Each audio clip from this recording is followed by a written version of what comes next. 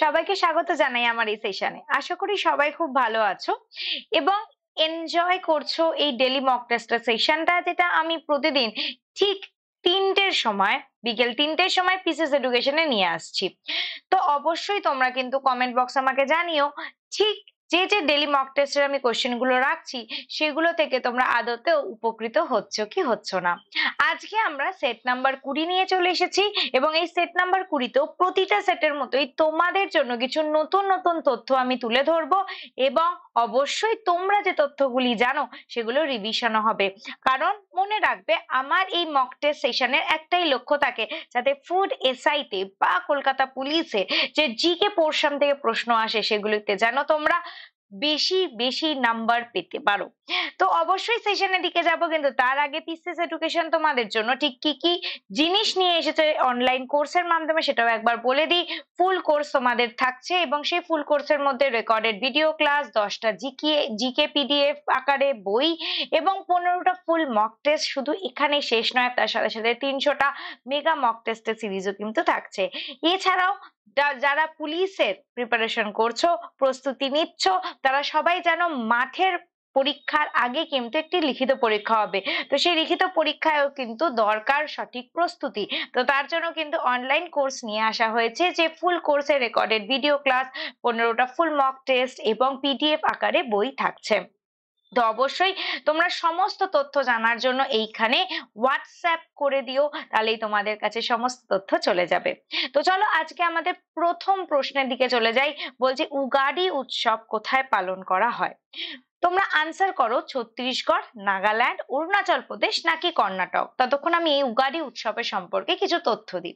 উগাডি উৎসব একটি হিন্দু উৎসব এবং এই হিন্দু উৎসবটি প্রধানত দক্ষিণ ভারতে পালন করা হয়ে থাকে। তাহলে আশা করি উত্তর দিতে সুবিধা হবে, কারণ এইখানে দক্ষিণ ভারতের একটি রাজ্য উপস্থিত আছে চারটে অপশনের মধ্যে, সেটি হচ্ছে কর্ণাটক। তো কর্ণাটক এখানে সঠিক উত্তর হয়ে যাবে।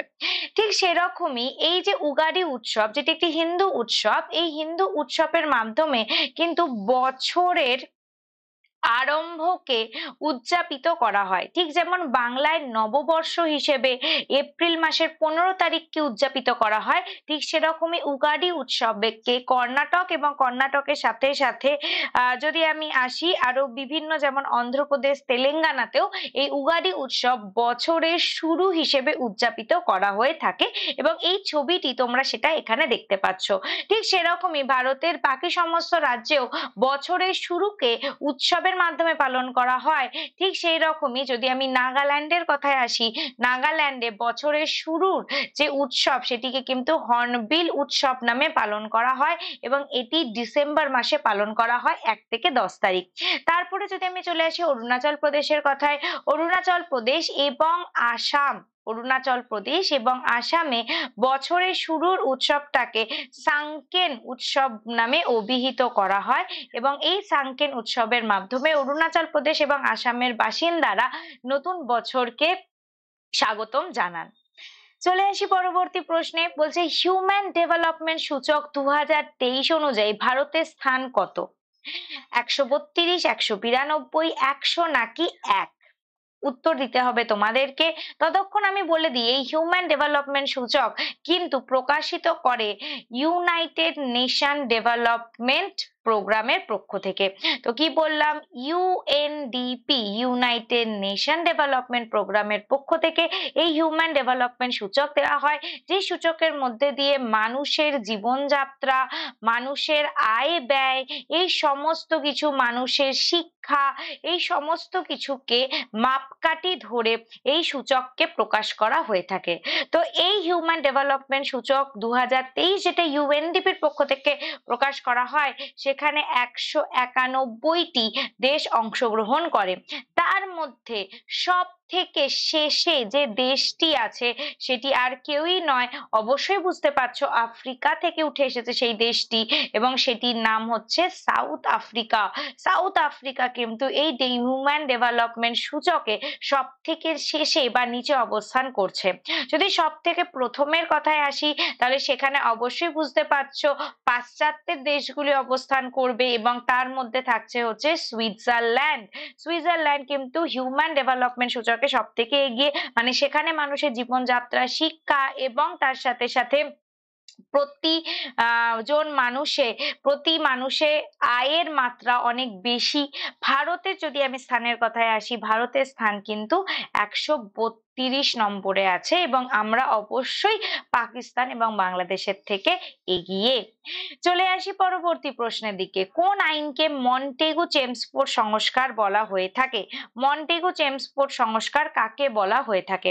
বলে রাখি, এই মন্টেগু চেমসফোর্ড সংস্কার কিন্তু আঠেরোশো আটান্ন সালে যখন ভারত পুরোপুরিভাবে ব্রিটিশ ইস্ট ইন্ডিয়া থেকে রানী ভিক্টোরিয়ার কাছে চলে গেল তারপরে এই মন্টেগু চেমসফোর সংস্কার এসেছিল। কেমন? যখন ব্রিটিশ ইস্ট ইন্ডিয়া ভারতকে শাসন করছিল, সেই সময় কিন্তু এটি আসেনি। তাহলে এবার উত্তর বলবে, ভারতীয় স্বাধীনতা আইন হবে, ভারতীয় সংস্কার আইন উনিশশো উনিশ হবে, পিটস অ্যাক্ট হবে নাকি চার্টার অ্যাক্ট হবে? যদি আমি পিটস অ্যাক্টের কথায় আসি, তো এটি কিন্তু আঠেরোশো সাতাত্তর সালে সরি আঠেরোশো সাতাত্তর আমি একটু ভুল বললাম, কারণ আঠেরোশো আটান্ন সালে তো ভারত নিয়ে নিয়েছিল। যদি আমি আসি, ভারত কে নিয়ে নিয়েছিল? আমাদের ব্রিটিশ ইস্ট ইন্ডিয়ার হাত থেকে রানী ভিক্টোরিয়া। তো পিটস অ্যাক্ট কিন্তু সতেরোশো তিয়াত্তর সালে এসেছিল এবং এই সতেরোশো তিয়াত্তর সালে আনা পিস্ট, পিটস অ্যাক্টে ওয়ারেন হেস্টিংসকে ওয়ারেন হেস্টিংসকে প্রথম গভর্নর জেনারেল অফ বেঙ্গল করা হয়েছিল। ওয়ারেন হেস্টিংস এই আইনের মাধ্যমে গভর্নর জেনারেল, আমি একটু ঠিকঠাক ভাবে লিখে দিই, নয়তো তোমরাই বুঝতে পারবে না। তো গভর্নর জেনারেল অফ বেঙ্গল করা হয়েছিল, বাংলার গভর্নর জেনারেল করা হয়েছিল ওয়ারেন হেস্টিংস কে এই আঠেরোশো, সতেরোশো তিয়াত্তর সালের পিটস অ্যাক্টের মাধ্যমে। তারপর চলে আসি আমি চার্টার অ্যাক্টের কথা। এই চার্টার অ্যাক্ট কিন্তু আমি আঠেরোশো তেত্রিশ সালে চার্টার অ্যাক্টের যদি আমি কথায় আসি, সেখানে কিন্তু উইলিয়াম বেন্টিংক উইলিয়াম বেন্টিং বা বেন্টিং সাহেবকে কিন্তু বাংলার বদলে পুরো ভারতের গভর্নর জেনারেল হিসেবে প্রথম নিযুক্ত করা হয়েছিল। পুরো ভারতের গভর্নর জেনারেল পদ কিন্তু এই আঠেরোশো সালে চার্টার অ্যাক্টে আনা হয়েছিল এবং এইখানে উইলিয়াম বেন্টিং সাহেবকে ভারতের প্রথম গভর্নর জেনারেল করা হয়েছিল। চলে আসি ভারতের স্বাধীনতা আইন, ভারতের স্বাধীনতা আইন উনিশশো সাতচল্লিশ। এইখানে ব্রিটিশ শাসনের থেকে আমরা স্বায়ত্ত শাসন অধিকার করেছিলাম। ব্রিটিশ শাসন আর ছিল না। সেখান থেকে আমরা স্বায়ত্ত শাসন অধিকার করেছিলাম। এই আইনের মাধ্যমে যদি আমি ভারত সংস্কার আইন আসি, তাহলে বুঝতেই পারছ, এই প্রশ্নের সঠিক উত্তর কিন্তু ভারতীয় সংস্কার উনিশশো উনিশ, যাকে মন্টেগো চেমসফোর্ড আইনও বলা হয়ে থাকে। ঠিক সেরকমই উনিশশো নয় সালে যে ভারতীয় সংস্কার আইন আনা হয়েছিল, সেটাকে মরলে মিন্টো সংস্কার আইন কিন্তু বলা হয়েছিল। এগুলো একটু মাথায় রেখো। চলে আসি, প্রথম লোকসভা কবে গঠিত হয়েছিল? প্রথম লোকসভা কবে গঠিত হয়েছিল? রাজ্যসভা এবং লোকসভা একই বছর গঠিত হয়েছিল এবং সেটি উনিশশো সালে। লালা লাজপত রায় কোন ব্যাংক স্থাপন করেছিলেন? লালা রাজপত রায় কোন ব্যাংক স্থাপন করেছিলেন? একদম। যদি আমি স্টেট ব্যাংক অফ ইন্ডিয়াকে আসি স্টেট ব্যাংক অফ ইন্ডিয়া কিন্তু কোনো একজন ব্যক্তিত্ব স্থাপন করেনি। ভারত সরকার কেন্দ্র, কেন্দ্রীয় ব্যাংক। এনারা দুজনে মিলে উনিশশো পঞ্চান্ন সালে স্টেট ব্যাংক অফ ইন্ডিয়া স্থাপন করেছিলেন এবং এই স্টেট ব্যাংক অফ ইন্ডিয়ার আগের নাম ছিল আগের নাম ছিল ইম্পিরিয়াল ব্যাংক অফ ইন্ডিয়া আগের নাম ছিল স্টেট ব্যাংক অফ ইন্ডিয়ার ইম্পিরিয়াল ব্যাংক অফ ইন্ডিয়া এবং সেটিকে স্বাধীনতার পর ভারত সরকার এবং কেন্দ্রীয় ব্যাংক মিলে স্টেট ব্যাংক অফ ইন্ডিয়া নাম করেছে। এবার চলে আসি, তাহলে স্টেট ব্যাংক অফ ইন্ডিয়া তো বাদ হয়ে গেল। এরপর তাহলে চলে আসি যে লালা রাজপত রায় কোন ব্যাংক স্থাপন করেছিলেন? তোমরা সবাই জানো, আশা করি এতক্ষণে উত্তর দিয়ে দিয়েছ, Punjab National Bank. Punjab National ব্যাংকে লালা রাজপত রায় স্থাপন করেছিলেন। চলে আসি ইউনিয়ন ব্যাংক অফ ইন্ডিয়ার কথা। এই ইউনিয়ন ব্যাংক অফ ইন্ডিয়া এ কিন্তু স্থাপন করেছিল একজন শেঠ এবং তার নাম সীতারাম পোদ্দার। তো সীতারাম পোদ্দার, ইনি কিন্তু ইউনিয়ন ব্যাংক অফ ইন্ডিয়াকে স্থাপন করেছিলেন। যদি আমি ব্যাংক অফ বরোদার কথায় আসি, এটি কিন্তু একজন রাজা স্থাপন করেছিলেন এবং গুজরাটের বরোদার রাজা মহারাজা শাওয়াজি রাও, মহারাজা শাওয়াজি রাও কিন্তু এই ব্যাংকটি স্থাপন করেছিলেন, ব্যাংক অফ বরোদা। চলে আসি। এর পরবর্তী প্রশ্নের দিকে, খো খো খেলায় কতজন থাকে? খো খো খেলায় কতজন থাকে? খো খো খেলার ছবি তোমরা এখানে দেখতে পাচ্ছ। এই খো খো খেলার উল্লেখ কিন্তু মহাভারতে করা আছে। এই খো খো খেলার উল্লেখ কিন্তু মহাভারতে করা আছে এবং এটি ভারতের, আহ ট্র্যাডিশনাল মানে ভারতের নিজস্ব খেলাগুলির মধ্যে অন্যতম। তো সেই খো খো খেলায় কতজন থাকে? তো খো খো খেলায় কিন্তু বারো জন থাকে। কিন্তু এই বারো জনের মধ্যে ন জন এই বারো জনের মধ্যে ন জন খেলায় অংশগ্রহণ করে। মানে একটি দলে বারো জন থাকে, কিন্তু খেলায় অংশগ্রহণ করে, খেলায় অংশগ্রহণ করে নজন নজন কিন্তু খেলায় অংশগ্রহণ করছে প্রতি দল থেকে। এবার বলে রাখি, মহাভারতে যে খো খো খেলার উল্লেখ ছিল সেরকম ভাবে কিন্তু এখন খোখো খেলা হয় না।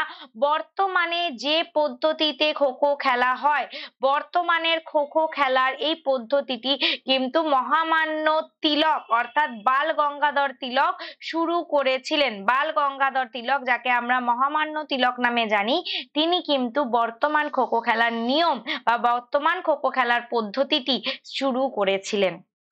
চলে আসি পরবর্তী প্রশ্নে। অ্যানে লামস্ট্যান্ড কোন খেলার সাথে যুক্ত? অ্যানে লামস্ট্যান্ড কোন খেলার সাথে যুক্ত? হকি, ক্রিকেট, দৌড়, সাঁতার। তোমরা আনসার করো, ততক্ষণ আমি উত্তর দিতে থাকি। উত্তরের আগে এই অ্যানে লামস্টেন সম্পর্কে একটু বলে দিই। অ্যানে লামস্টেন একজন মহিলা খেলোয়াড়। এবং মনে রাখবে, এই অ্যানে লামস্টেন নামে যতই বিদেশি ভাব থাকুক না কেন, ইনি কিন্তু আদ্যপান্ত বাঙালি এবং ইনি কিন্তু পশ্চিমবঙ্গে জন্মগ্রহণ করেছিলেন। এবং শুধু তাই নয়, ইনি প্রথম মহিলা যিনি কিনা অর্জুন পুরস্কার পেয়েছিলেন। প্রথম মহিলা খেলোয়াড় যিনি অর্জুন পুরস্কার পেয়েছিলেন এবং তোমরা জানো নিশ্চয়ই, আগের সেটগুলোতে আমি আলোচনা করেছি, অর্জুন পুরস্কার আমাদের দেশের মধ্যে থাকা খেলোয়াড়দের দেওয়া দ্বিতীয় সর্বোচ্চ পুরস্কারের মধ্যে পড়ছে। তাহলে সেই অ্যানে লামসডেন কোন খেলার সঙ্গে যুক্ত ছিল জানার সময় এসে গেছে। তিনি কিন্তু হকি খেলার সঙ্গে যুক্ত ছিলেন। চলে আসি পরবর্তী প্রশ্নের দিকে। কে চারমিনার বানিয়েছেন? চারমিনার কে বানিয়েছেন? আশা করি ছবিতে দেখে বুঝতে পারছ, চারমিনার কিন্তু এটা এবং এটি কিন্তু হায়দ্রাবাদের একটি দর্শনীয় স্থান। তো এই চারমিনার কে বানিয়েছেন? কুলি কুতুব শাহ ইলতুতমিশ কুতুবুদ্দিন আইবক, আলাউদ্দিন খিলজি। কে চারমিনার বানিয়েছিলেন? তো মনে রাখবে কুলি কুতুব শাহ কিন্তু চারমিনার বানিয়েছিলেন এবং এই কুলি কুতুব শাহ শাহী ডাইনেস্টি বা কুতুব শাহ ডাইনেস্টির পঞ্চম শাসক ছিলেন। কুতুব শাহ ডাইনেস্টি অর্থাৎ কুতুব শাহ, উম সাম্রাজ্যের, যদি আমি সাম্রাজ্যের কথায় আসি, কুতুব শাহ সাম্রাজ্যের পঞ্চম শাসক ছিলেন যিনি এই চারমিনারটি বানিয়েছিলেন। যদি আমি ইলতুৎমিশের কথায় আসি, ইনি দাস বংশের ছিলেন এবং এই ইলতুৎমিশ কুতুবুদ্দিন আইবকের তৈরি করা এই কুতুব মিনারকে সম্পূর্ণ করেছিলেন। তো কুতুব মিনার নির্মাণ শুরু করেছিলেন কে? কুতুব মিনার নির্মাণ শুরু করেছিলেন কুতুবুদ্দিন আইবক এবং কুতুব মিনার নির্মাণ সম্পূর্ণ করেন কে? নির্মাণ সম্পূর্ণ করেন তারই পরবর্তী বংশধর ইলতুতমিশ চলে আসি আলাউদ্দিন খিলজির কথায়। আলাউদ্দিন খিলজি কিন্তু এই আলাই দরওয়াজা তৈরি করেছিলেন, যেটি কিন্তু একটি দর্শনীয় স্থান। আলাই দরজা তৈরি করেছিলেন, যিনি যেটি কিন্তু একটি দর্শনীয় স্থান দর্শনীয় স্থান। চলে আসি গুরু শিখর কার সর্বোচ্চ শৃঙ্গ। আরাবল্লী পর্বত শ্রেণি, বৃন্দ পর্বত শ্রেণি, সাতপুরা পর্বত শ্রেণি নাকি কোনোটি নয়। গুরু শিখর কার সর্বোচ্চ শৃঙ্গ? গুরু শিখর কিন্তু আরাবল্লী পর্বত শ্রেণির সর্বোচ্চ শৃঙ্গ যেটি তোমরা দেখতে পাচ্ছ, এই অংশে অবস্থান করেছে। অর্থাৎ রাজস্থানের অংশে কিন্তু এই আরাবল্লী পর্বত অবস্থান করেছে।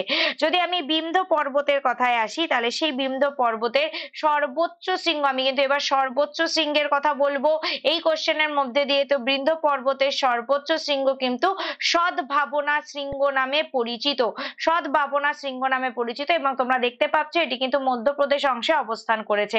যদি আমি সাতপুরা পর্বতশ্রেণীর নামে আসি, তো সেই সাতপুরা পর্বতশ্রেণীর সর্বোচ্চ শৃঙ্গ কিন্তু ধূপগড়। কি নাম? ধূপগড়। সেই রকমই আমরা যদি দাক্ষিণাত্যে দেখি, দাক্ষিণাত্যে অবস্থান করেছে ওয়েস্টার্ন ঘাট। ওয়েস্টার্ন ঘাট বা পশ্চিম ঘাট পর্বতমালা। তো মনে রাখবে, এই পশ্চিম ঘাট পর্বতমালার সর্বোচ্চ শৃঙ্গের নাম কিন্তু আনাই মুদি এগুলো কিন্তু পরীক্ষার জন্য ভীষণ ভীষণ গুরুত্বপূর্ণ। চলে আসি মোহাম্মদ শাহাবুদ্দিন, কোন দেশের রাষ্ট্রপতি? মোহাম্মদ শাহাবুদ্দিন দু সালে কোন দেশের রাষ্ট্রপতি হিসেবে নিযুক্ত হয়েছেন? বা দু সালে মোহাম্মদ শাহাবুদ্দিন কোন দেশের রাষ্ট্রপতি হয়ে আছেন? এরকম প্রশ্ন কিন্তু পরীক্ষায় আসবে। তো মনে রেখো, এই রকম প্রশ্নের ক্ষেত্রে মোহাম্মদ শাহাবুদ্দিন যদি প্রশ্নে আসে, তাহলে উত্তর হবে বাংলাদেশ। সেখানে যদি আমি ইরানের কথায় আসি, ইরানের কিন্তু রাষ্ট্রপতি বা যাকে প্রেসিডেন্ট বলা হচ্ছে, তিনি হচ্ছেন ইব্রাহিম রেইজি। কি নাম? ইব্রাহিম রেইজি।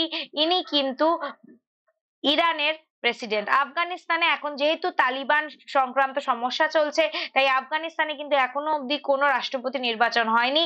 পাকিস্তানে দু তেইশ সাল অবধি কিন্তু রাষ্ট্রপতি একই আছে। দু হাজার চব্বিশ সালে রাষ্ট্রপতি চেঞ্জ হয়ে যাবে, তখন কিন্তু তোমরা আরও একবার পাকিস্তানের রাষ্ট্রপতি কে হলেন সেটা দেখে নিও। তো দু হাজার তেইশ সালে রাষ্ট্রপতি এখনও আছেন কিন্তু আরিফ আলভি। আরিফ আলভি পাকিস্তানের বর্তমান রাষ্ট্রপতি। দু সালে ওখানে কিন্তু রাষ্ট্রপতির পুনরায় নির্বাচন হবে, তখন কিন্তু এই রাষ্ট্রপতি বদলে যেতে পারেন। জাগই নৃত্য কোন রাজ্যের নৃত্য? জাগই নৃত্য কোন রাজ্যের নৃত্য? এটি হচ্ছে জাগুই নৃত্যের ছবি। যদি তোমরা ছবিতে দেখতে পাচ্ছ, তো অবশ্যই উত্তর হবে মণিপুর ছবি দেখো, আশা করি বুঝতে পারছ। এই যে ছবিটি দেখছ, এটি কিন্তু ওড়িশি নাচের ছবি এবং এই ওড়িশি নাচ কিন্তু ওড়িশাতে হয়। চলে আসি, যদি আমি অন্ধ্রপ্রদেশের কথায় আসি, তো অন্ধ্রপ্রদেশে একটি বিশেষ লোকনৃত্য পালন করা হয় এবং তার নাম হচ্ছে বুট্টা বোম্মা। তো কি নাম? বুট্টা বোম্মা লু বুট্টা বোম্মালু হচ্ছে অন্ধ্রপ্রদেশের লোক নৃত্যের নাম। যদি আমি আসামের কথায় আসি, আসামে কিন্তু বিহু এবং বাগারুম্বা। বিহু এবং বাগারুম্বা, এটি হচ্ছে আসামের লোকনৃত্যের নাম। চলে আসি পরবর্তীতে, প্রাচীন ভারতে কতগুলি মহাজনপদ ছিল? প্রাচীন ভারতে কতগুলি মহাজনপদ ছিল? চোদ্দ, বারো, আঠেরো, নাকি ষোলো? মনে রাখো, প্রাচীন ভারতে যে মহাজনপদ গুলি ছিল, তার মধ্যে মগধ কিন্তু সব থেকে শক্তিশালী ছিল এবং সেই মগধের রাজধানী কিন্তু ছিল পাটুলি পুত্র মগধের রাজধানী ছিল কোথায়? মগধের রাজধানী ছিল কিন্তু পাটুলি পুত্র তো তোমাদের কাছে আমার প্রশ্ন হচ্ছে যে, এই প্রাচীন ভারতে কতগুলি মহাজনপদ ছিল? তো মনে রাখবে, প্রাচীন ভারতে ভারতের ষোলোটি মহাজনপদ ছিল, তার মধ্যে সব থেকে শক্তিশালী কিন্তু মগধ মোগল আমলে সংস্কৃত মহাভারতের ফার্সি অনুবাদকে কি বলা হয়? মোগল আমলে সংস্কৃত মহাজনপদের ফার্সি অনুবাদকে কি বলা হয়? তোমাদের উত্তর দিতে হবে তুতিনামা, শাহনামা, রাজামনামা, বাদশাহনামা। মনে রেখো, এই মোগল কার, কোন আমলে এই সংস্কৃত মহাভারতের ফার্সি অনুবাদ হয়েছিল? তো মনে রাখবে আকবর। আকবরের আমলে এই সংস্কৃত মহাভারতের ফার্সি অনুবাদ হয়েছিল এবং সেটি কে করেছিলেন? আবুল ফজলের ভাই। তার নাম হচ্ছে ফৈজি। ফৈজি যিনি কিনা আবুল ফজলের ভাই ছিলেন এবং তার সাথে সাথে বাদাউন। ঠিক আছে? বাদাউনি বাদাউনি এবং ফৈজি এরা দুজনে কিন্তু এই মোগল আমলের ফার্সি সংস্করণ আকবরের নির্দেশে করেছিলেন এবং নাম দিয়েছিলেন রাজাম নামা রাজাম কথার মানে কি? তোমাদের কিন্তু চ্যাট বক্সে আনসার দিতে হবে। রাজাম কথার মানে কি? চলে আসি পরবর্তী প্রশ্নে। কে বঙ্কিম পুরস্কারের প্রথম বিজয়ী? বঙ্কিম পুরস্কারের প্রথম বিজয়ী কিন্তু প্রবোধ চন্দ্র সেন। উনিশশো সালে রাজশেখর বসু তার কোন কাজের জন্য রবীন্দ্র পুরস্কার লাভ করেন? রাজশেখর বসু কিন্তু পরশুরাম নামে বিখ্যাত। তো উনিশশো সালে রাজশেখর বসু তার কোন কাজের জন্য রবীন্দ্র পুরস্কার লাভ করেন? গড্ডালিকা হনুমানের স্বপ্ন, গা মানুষ জাতির কথা নাকি কৃষ্ণকলি ইত্যাদির গল্প? মনে রাখবে কৃষ্ণকলি ইত্যাদির গল্প জন্য উনিশশো পঞ্চান্ন সালে রাজশেখর বসু রবীন্দ্র পুরস্কার লাভ করেন। পশ্চিমবঙ্গের সর্বোচ্চ শৃঙ্গ কোনটির অন্তর্গত?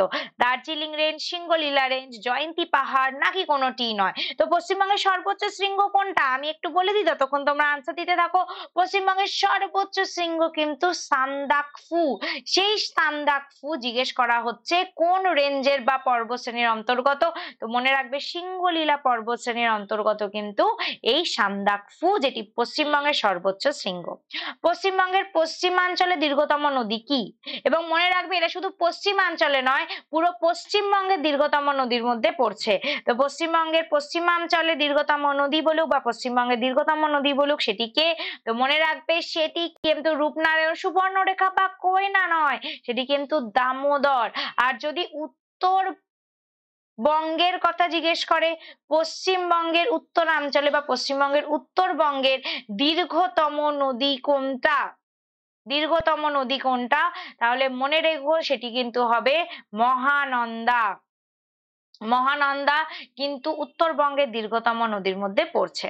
চলে আসি পরবর্তী প্রশ্নে। কে বাঙালির নবজাগরণের জনক হিসেবে পরিচিত? দাদাভাই নৌরাজি, ঈশ্বরচন্দ্র বিদ্যাসাগর, রাজা রামমোহন রায় নাকি দেবেন্দ্রনাথ ঠাকুর? এর থেকে সোজা প্রশ্ন হয় না। বাবু, ঈশ্বরচন্দ্র বিদ্যাসাগর বর্ণ পরিচয় তৈরি করেছিলেন এবং এনার লিখিত বর্ণ পরিচয়ের জন্যই বাঙালিরা বাংলায় লিখতে পারছে, পড়তে পারছে এবং আমিও বাংলায় তোমাদের প্রশ্ন উত্তর করাতে পারছি। তো বাঙালি নবজাগরণের জনক, কিন্তু রাজা রামমোহন রায় এবং তার দেখানো পথ ধরেই কিন্তু পরবর্তীকালে ঈশ্বরচন্দ্র বিদ্যাসাগর দেবেন্দ্রনাথ ঠাকুর এনারা এগিয়ে গেছেন এবং বাঙালি সমাজকে উন্নত করেছেন, কুসংস্কারের মধ্যে ফেলে রাখেননি। চলে আসি পরবর্তী প্রশ্নে, বরুণ কোন দেশে নৌবাহিনীর মধ্যে দ্বিপাক্ষিক মহড়া?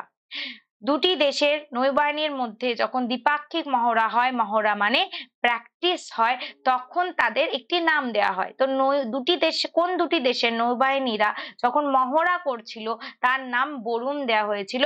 তো মনে রাখবে, সেটি কিন্তু ভারত এবং ফ্রান্স, ভারত এবং ফ্রান্সের দ্বিপাক্ষিক নৌবাহিনীর মহড়াকে বরুণ বলা হয়েছে। কালো জিরা চাল কোন রাজ্যের একটি বিখ্যাত খাদ্যপণ্য এবং মনে রাখবে এটি কিন্তু বর্তমানে জিআই ট্যাগ পেয়েছে। একদম জিআই ট্যাগ পেয়েছে। মানে এই ধরনের চাল এই রাজ্যেই মূলত তৈরি হয়েছে এবং সব থেকে খাঁটি এই রাজ্যেই পাওয়া যায়। তো তাকেই জিআই ট্যাগ দেওয়া হয়ে থাকে। তো কালো জিরা চাল কোন রাজ্যের জিআই ট্যাগ পাওয়া একটি বিখ্যাত খাদ্যপণ্য? তো মনে রাখবে ওড়িশা। ওড়িশাতে এই কালো জিরা চাল পাওয়া যায় এবং যেটি বর্তমানে জিআই ট্যাগ পেয়েছে। তো তোমাদের আরও একবার পিসিএস এডুকেশনের পক্ষ থেকে দেওয়া অফারের ব্যাপারে একটু বলে রাখি।